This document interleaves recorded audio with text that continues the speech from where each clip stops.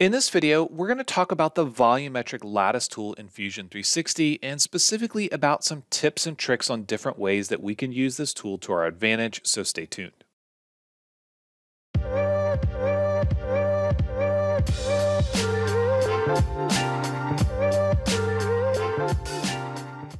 Hey everyone, this is Matt with Learn Everything About Design, and in this video, we're going to talk about the volumetric lattice tool in Fusion 360. Now, when this tool was first released as a preview feature in the product design extension last year, we did cover it. I activated the product design extension and we jumped right in and we just played around with the tool. I haven't really covered it more after that on this channel, but there have been some updates, so I do want to talk about it again and maybe give you guys a little bit of information and some tips on ways in which we can use this. So in this video, we're going to cover a handful of things. If you don't want to activate the product design extension or the 14-day trial, you can go ahead and just watch the video and get some information about how it works. If you do want to follow along, you can go to the description of the video and download the data set that you see here on the screen and play around with it on your own. It's just a simple linkage part, and the goal here is to have a volumetric lattice in the middle section of it, but still have the structure on the outside for the most part. So we're going to look at a couple of different methods to achieve this. I'll talk about some pros and cons of each of these and give you some tips along the way. First, the volumetric lattice can be found under Modify, and you can also go to the plastic tools. It is in the product design extension. A lot of these tools will only be active once you activate the extension, and you can see it's here under Modify as well. What we're going to do is we're first going to talk about selecting faces. So when I go into Modify and Volumetric Lattice, we need to select a body that we want to apply a lattice to. We can increase or decrease the size. We can go to solidify and we can increase or decrease the thickness of each of those ribs. And then we can go to the offset section and we can select faces that we want to remain as a solid body. Now, one of my main issues with this method here is that the interface between different sections of the design and the lattice that's being created, they're going to have a lot of these undulations or different textures that we can see here because essentially the entire thing is getting converted to a mesh. Now, at this point in time, it's going to be just a graphical preview until we actually force it to create a mesh, but everything is getting converted to a mesh. So you're going to end up with areas like this around the boss where we have essentially a blending that happens between them. Now you can increase or decrease this blending distance, but it's not going to smooth out the geometry at all. You can start selecting more edges, for example, if we select this fillet, but you can see we still get these kind of wavy sections here. So this method is very simple and straightforward, but there are pros and cons. Now for me, there are a couple more cons than pros, which is why I don't generally use this. The cons are the interface between the areas you want to keep solid and the areas of the lattice. The second con is that we can't do a structural simulation on this part. Now, generally, when we talk about lightweighting or creating volumetric lattices, then we really want to focus on structural components. The main reason we're doing that is because we're lightweighting our structural components. But in this case, and it's not just Fusion, it's most software that can generate these types of textures or volumetric lattice structures, it's sort of a post process. It's after the fact, and we don't have a way to do a structural simulation on them. So because of that, we're going to explore another method. But before we get there, I want to give you a quick tip on ways in which you can speed up the face selection process. So what I'm going to do is go to my selection dropdown to selection filters, and I'm going to turn off select all and only focus on body faces. Then I'm going to box select everything, which will give me all of the faces. I'm going to shift select to deselect some of the faces that I don't want to include. And then I'm going to right click and create a selection set. Now, once I have a selection set, inside of here, the selection set can be selected quickly and easily. So for example, I can just click this button and now everything that I had saved is going to be there. You want to remember to go back to your selection filters and turn them back on. Otherwise, you won't be able to select things like sketches or edges on your part. So make sure you turn those back on. Now, if I go into Modify and Volumetric Lattice, I select the body that we're interested in, and then in the Offset tab, I simply go to my selection set and use the option to select those faces. Uh, keep in mind that every time we make a selection, it will need to update and regenerate the volumetric lattice. Because I just told it to select 90 faces, including a bunch of small fillet edges, it's going to have to go through and regenerate that lattice structure, and that can take a little bit of time. But once it does, you can go ahead and play around with these various variables like the thickness, and that was much quicker than me going around and manually selecting 90 different faces. But again, it is very computationally heavy, so make sure that you are careful with what you're selecting. Not a bad result. It does give us a much better result than the first go round, but again, not the ideal candidate here. So now that we have that tip, the next thing I want to talk about is how we can manually force this issue where we can have a lattice on the inside but maintain that solid body on the outside. The first step for me is going to be to copy and paste that body just using Control C and Control V. Then I'm going to hide body 2 and I want to use the shell tool. I'm going to select the entire body, not a single face, and I'm going to give it some sort of inside thickness, let's say 3 millimeters, and just hit enter. Now, if you select an entire body instead of a single face, what's going to end up happening if we go to inspect and section analysis is that we've essentially created a thin wall part. Now, this thin wall part is great. However, we want the lattice to be on the inside. And the way we do that is by taking this original solid body and the one that now has a hollow core and using combine. So in the combine tools, we're going to be using cut. The target body is going to be the inside, which is the original solid, and the tool body is going to be the outside. So we want to cut the outside away, but we do want to keep the tools and we're going to say okay. So now the outside body is going to be that larger one and the inside body is the smaller one.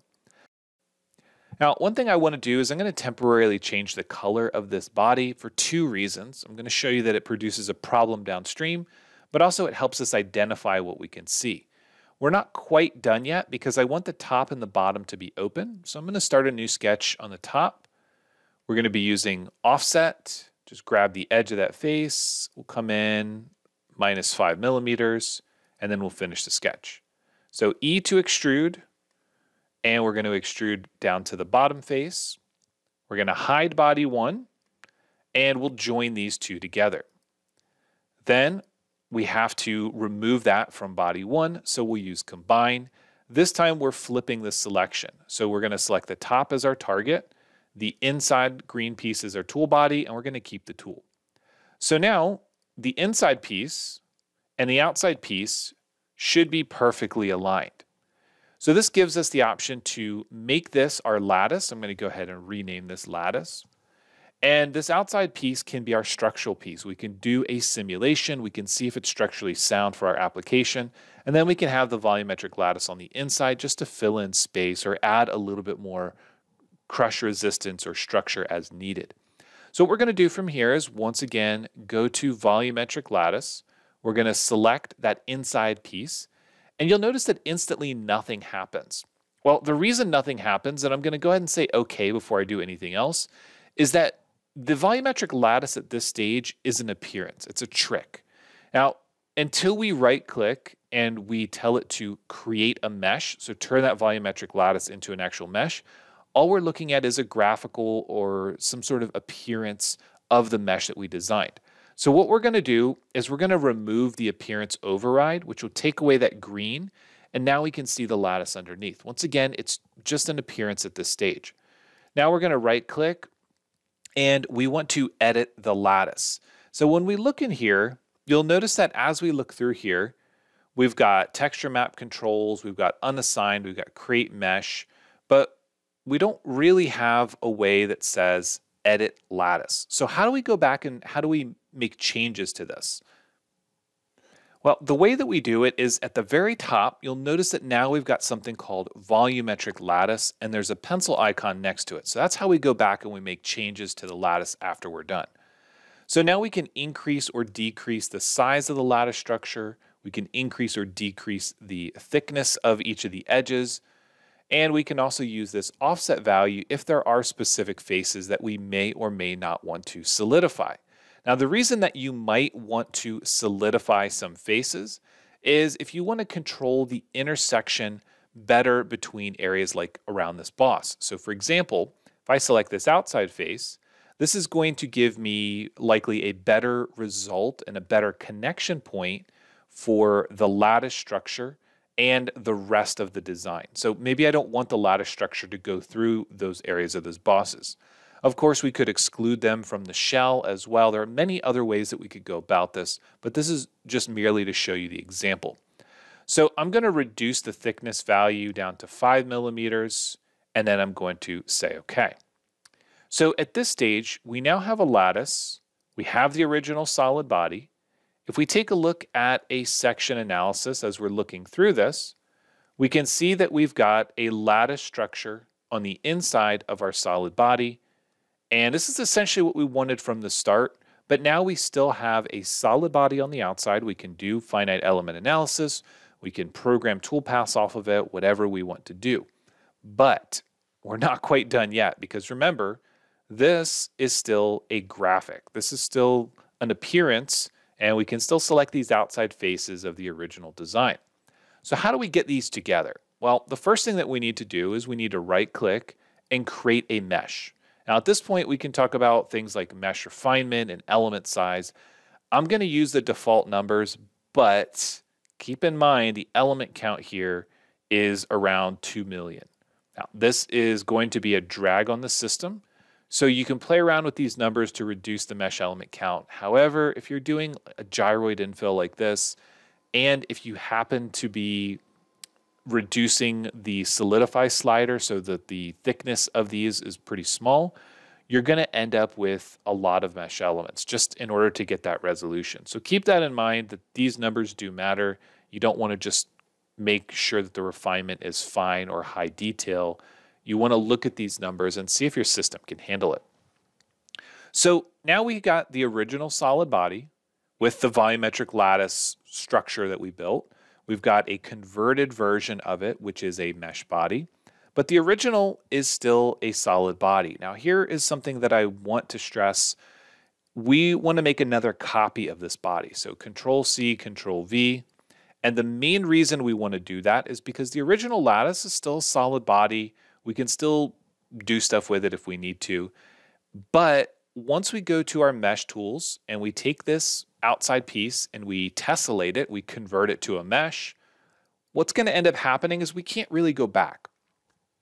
So now we've got the mesh for the outside and we've got the mesh for the inside. These are two still separate solid bodies. Now, if you are 3D printing this, you can assign different materials to the body presets to the different pieces of this, and you can likely 3D print both of these as individual bodies, but that's not always the case. So we do want to talk about combining them together. Now, this is another step in the process that does take quite a while, but we can use the Mesh Combine tool.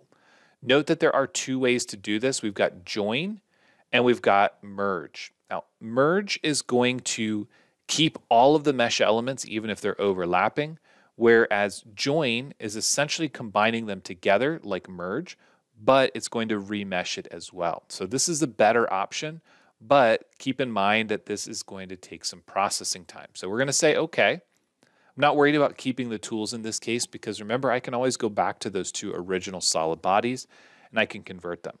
So we're going to let this crank for a minute and try to figure out how all these different pieces are going to intersect. Then we're going to review it and then we'll go back and we'll take a look at the option to create a custom volumetric lattice.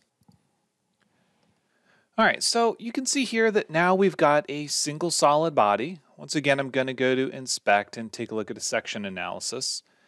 And you can see now that we've got the mesh has been redone and everything's connected. It's not a perfect solution. There are still some problems associated with this mesh. So for example, you can see here that there is a like an inside face on part of this. So potentially you might want to consider doing things like having a small offset on all the outside faces where the volumetric lattice is, and that would is, you know kind of ensure that we we get a good intersection between those. Some of it's going to come down to the mesh element size, the type of infill that you use, and all those other different types of settings that you go through. However, the basic process is for us to consider making solid bodies or areas of our design that we want the mesh applied to, as opposed to just selecting those outside faces and using those offset options. Now that we've taken a look at that, let's also talk about generating or creating our own volumetric lattice structure. To do this, I'm going to start a brand new design. I'm just going to make a simple box for us to look at. So just using some of the primitives, box, and we'll just drag this up. And this is going to be sort of the basis for it. Now, the way that I'm going to do this is I'm going to start a new sketch. Just pick a sketch plane, doesn't really matter. And I want to make sure my 3D sketch option is on. What I'm going to do is generate a 3D sketch, and we're going to talk about basically how we use this. So I'm going to create a straight line. I'm going to create one out to the right, maybe bring one down at an angle. To rotate this around, come from the origin out in this direction, and we'll go back in this direction as well. Now, before I get too far ahead of myself, I'm going to use equal and make sure that the lengths of all of these are going to be equal. So I want to set this equal to that, this equal to that. Notice that things are kind of flipping around a little bit, uh, so something that we should uh, definitely be careful with. So let's do Control Z and bring it back. Make sure that this one is horizontal. And I'm going to try to give this one an angle of 130 degrees, and then we'll finish the sketch. So let's bring the solid back, go into Modify, Volumetric Lattice, and under Cell Shape, we're going to use Custom. Now for Custom, the geometry is going to be based on these edges that we select. And essentially anything that we have selected here is going to have a mesh tube generated, just based on the fact that we have these straight lines. The body we're going to select is the solid body. The cell size I'm going to set to 15, just so it's a little bit easier for us to see. And then I'm going to start to reduce the solidify amount. So as you can see, as it gets smaller, essentially what we have looks like jacks from an old, you know, bouncy ball and jacks game. But essentially you can see every line that we created has this mesh tube associated with it. So you can create all sorts of different types of geometry, but if you want to build a custom lattice structure, then you can use this method and this will allow you to create whatever structure you want. Some cautionary tales here, however, is you do want to make sure that if you are creating something that needs to merge with another element, that you consider creating those lines so that they will always intersect with another version of that element. For example, giving all of these a dimension and making sure that where this hits, if you were to pattern it, is going to be important so you can get all these elements to stick together. Because right now they're just sort of floating out in space. It's not going to be very helpful to you. The other thing I do want to mention in the setup is that we have the option to move and rotate, which we took a basic look at. But this now lets us do a little bit more with moving and rotating this, positioning it inside of our design. Doesn't really matter much when we're talking about a cube or a rectangle, you know, sort of block like this. But if you have more organic shapes, moving the lattice structure around can be a good way for you to accurately position it. In this example, I'm going to say okay, but once again, remember the lattice is not applied until we turn it into a mesh. We can also unassign the volumetric lattice. It's still here, but it's not assigned to that body anymore. So that's something that we can go back and we can edit or we can delete it and get rid of it. But just remember that it is an appearance that's applied to the body until we push it into a mesh. So at this point, if you have any questions, please let me know. As always, thanks for watching, and we'll see you in the next one.